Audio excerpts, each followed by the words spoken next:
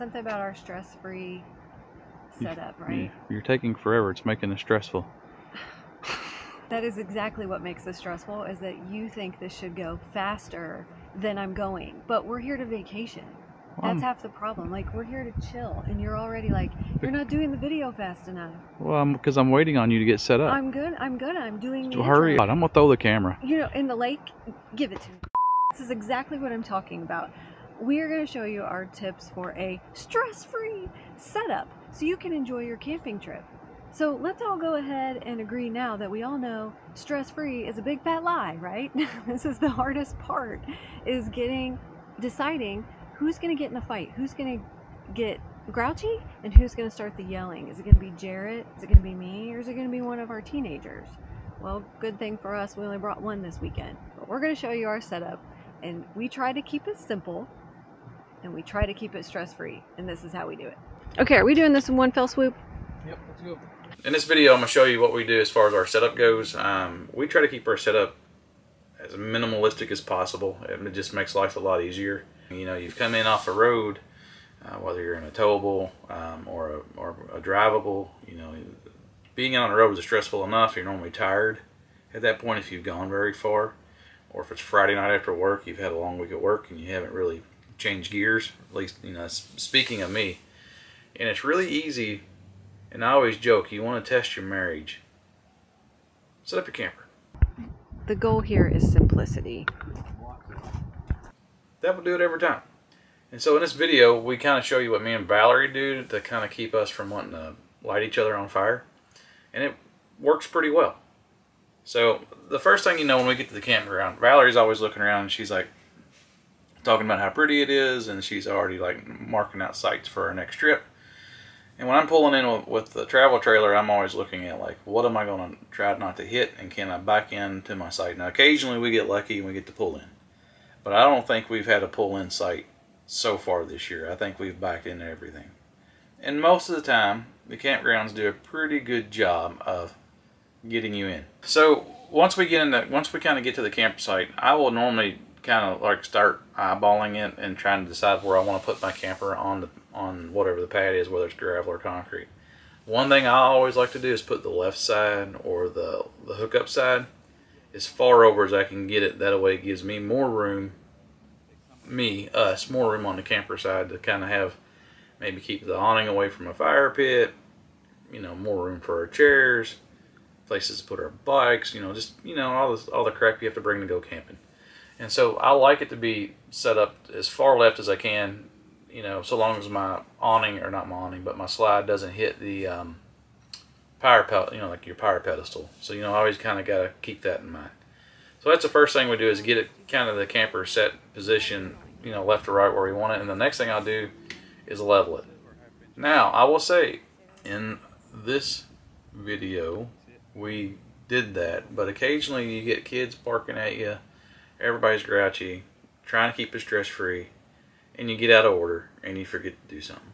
I've had camping trips where I've thought we were good to go, I've put everything out, and then realized that we were way off level left or right, hitched back up, undid everything, and you know, it's just one of those things where when that happens, you just have to be in a good mood about it and just realize that as soon as you're done, you're done, you're done, and you can enjoy your camping trip. That was a cliff note. So anyway, so once I get the camper left right, we'll get it level, and then that's when all the fun stuff happens. And so one thing I will give you is once once once we're level, and then especially in a travel trailer, and I start unhooking, I'm pretty much done with Valerie. Like I don't no longer need her assistance. And this is how we keep our stress-free camping setup as much as possible. Is when I'm doing my thing, she's doing her thing, and yes, we will help each other, but for the most part, we don't help each other she likes things a certain way i like things a certain way and we just get to where we don't really try to we communicate because she'll say can i put a slide out or can i turn the acs on? But for the most part it's i'm doing my thing and i try to do my thing in the order of the things that she's like you know get the power going so she can get the slides out and the acs on as soon as possible. And once i kind of get that done she's able to do her part and i'm able to do my part but we really don't talk to each other. And if you learn anything is when you're setting up your camper keep your conversation with your spouse or partner to minimal. Best advice I can give you. And if you have kids, don't talk to them either. But anyway, so I've, I've getting back to it. I've unhitched my camper. I've got it set up. The first thing I do is I put my hook my power up. This is actually gets the camper systems running for Valerie. She can turn the ACs on, especially in the summer if it's really really hot. Then once I'm done, you know, I kind of I go in and I hook up my sewer. I'll hook up my water, and you know that doesn't have to be in any particular order, but that's just kind of how I do things. So now that we got level, I've got my X chocks in. I always throw wheel chocks in just just in case, just as a backup. And then then on you know my truck's unhooked. I will go up and I have a little pass-through compartment up, up front, and I throw all my junk in, and I kind of pull out the stuff that I need to set up for that particular site. Whether we have full hookups, you know, I may not get my sewer stuff out, but I, you know if we don't have cable to hook up the TVs, I'll leave that stuff put away. But I always get out my drill, my leveling block, my little orange blocks to put under the jack feet, and then I kind of set it up accordingly. My garden hose. I always use a pressure regulator. This is just a little cheapy. Well, this wasn't cheap, but uh, pressure regulator and just a water filter. We do. We don't really drink this water, but we shower and stuff in it, so why not? Water filter just in case. And so once all that comes out, I go to town putting stuff in. Once I've got everything out, which is pretty quick, Valerie's kind of already getting the camper opened up, and all this happens real fast. If we have sewer, I will hook up the sewer. I will always hook up the water, make sure we got water. We know we normally never dry camp, so we always try to camp with we have electric and water. So I always hook up my water, and then once that's done, we go to cable TV if we have it. And so you know, again, my my goal for for even the stuff I carry is I keep keep it to a minimum. If I don't use it, I normally won't carry it. And if I'm going somewhere and I know I won't need something, I won't bring it. I don't want to carry extra stuff and have to contend with getting extra stuff in and out of the camper just in case I need it. Because honestly, most of the time I don't. And a matter of fact, I'll tell you a story. I, our camping trip in Mammoth Cave, I ran a jack up and blew a fuse. And I realized that I forgot my fuses not a big deal. But I kind of freaked out and I thought I didn't have a toolkit with me. But because I never used that particular toolkit, I had it with me. I just forgot. So I borrowed tools from the neighbor like a moron. But I'm just saying all that to say is like, know what you have and don't take too much stuff. Especially for the outside stuff. Because that's just more stuff they want you to put up. And that's more stressful. So just don't bring it. Check out my broken jack video. You'll see my mood and my stress level as soon as it happens. Because Valerie runs over with the camera and says, What happened? And at that point, I said in one of our videos um, with our Nautica, you should always carry a hammer just so you can throw it. And that's exactly what I felt like that day. Again, guys, I keep my setup as minimum as possible, as simplistic as possible. I try to keep my, I normally try to do all my outside stuff in like 15 minutes. 20 minutes tops, 15 minutes is where I like to be happens real quick. And then I now we'll show you what Valerie does on the inside. So check that out.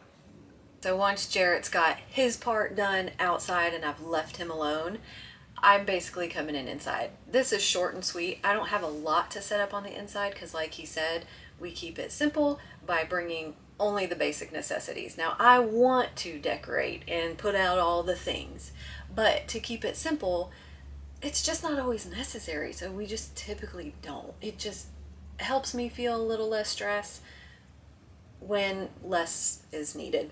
Once he's hooked up the electric and the water, I basically, you know, come inside. I tell the kids they can come inside if they need to cool off or whatever. Otherwise, like he said, they're kind of at the picnic bench or already off on a walk doing their thing because they know when to be quiet, and that's when Dad's setting up the camper. so um, I'm coming in. I pull out the slides very first thing. Here it comes. I'm gonna hit it.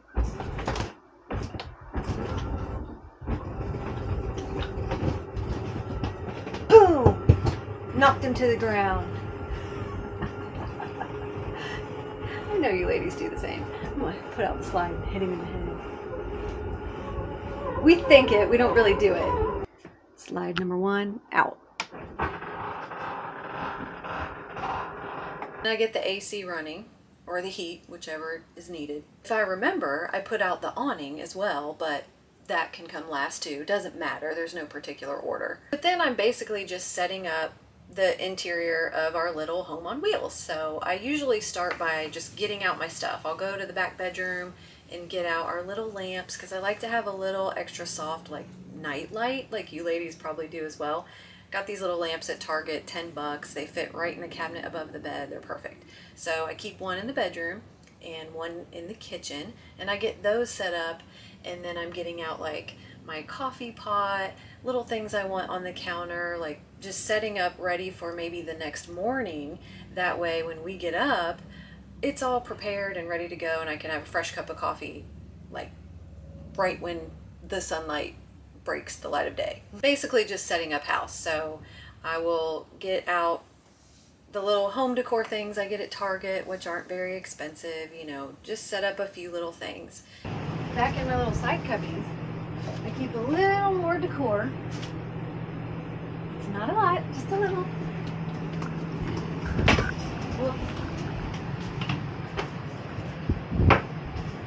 Got this little plant stand at Target, you know, in the impulse buy section right when you walk in.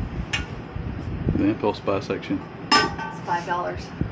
And I believe these were also three or five dollars. Gives a little little something. I get out all the things from the cabinetry, like in the bathroom. I'll make sure we've got toilet paper ready, a hand towel, make sure we've got the toothbrushes ready. I'm just getting out everything that was packed for the trip. You know, now it's on the counter and feeling like a home. For us, we did replace our vinyl recliners that came with this Sport Trek and you can watch another video of us putting in a modular burrow couch which we actually have learned to love. It's grown on us. It's actually really comfortable. But so in this setup I'm just making sure the couch is pushed back. It didn't get shifted around in the move. Um, and then putting out our little ottomans which I got on Amazon. They're perfect for just putting your feet up or putting a tray on for drinks and those are so simple. They just ride along on the trip on top of the couch they're super lightweight. They hardly take up any weight at all. And so I'll set that kind of stuff up. Then I'm going to the pantry, making sure everything's straight in there, nothing got shifted around. Same with the refrigerator, making sure we have cold drinks in the fridge. The food in the fridge made it. When we put out the slide, I already checked. I like to make sure that nothing slid around. And in this case, it didn't because I've got these handy dandy, you know, tight seal, lockable um, containers for everything except maybe the apples. And then I've got these Brightroom bins from Target that hold everything. So I try to make sure everything is in a container or in a lockable container, you know, and not going to go anywhere. And putting some waters away, I think that's everything. Like easy, not too much going on. Oh, there, there is one more thing. Inside setup, Jarrett did his part. We're hooked up, AC's running we're going to go outside and set up two rocking chairs, the table, and maybe one or two decor items depending on where we're going. But in this case, I'm not sure yet. And then if you're taking the kids, I always like to do a fun little like just make it fun. I set out some treats, whatever candy, snacks, chips, whatever your kids love, bring those things and make them happy. Sugar goes a long way. Just set out a few things on the countertop. Just kind of brings a little excitement to the trip and the kids love it. So all of this really like setting out my little home decor things, it takes 10 minutes if that.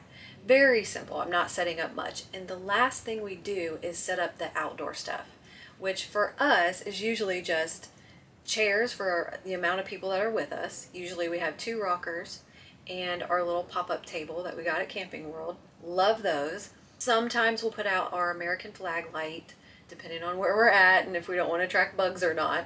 Um, and maybe our little American flag windsock. Jarrett will set out the grill and that's basically it. Like this whole process only takes somewhere between maybe 15 and 25 minutes unless you have to rehook and get level again. Less is more for us and maybe it's the same way for you. Comment below and tell us how you guys set up, whether you try to keep it stress free if you've ever had a stress-free setup, please let us know. That's usually the most difficult part of the camping trip. Basically, don't talk to each other, stay in your own lane, keep the kids away, keep your equipment and the things you want to set up to a minimum so you can enjoy your trip more than you're spending time setting up the RV. That's how we like to do it. And we hope the video was helpful. So, moral of the story is keep it simple. We'll see you on our next adventure.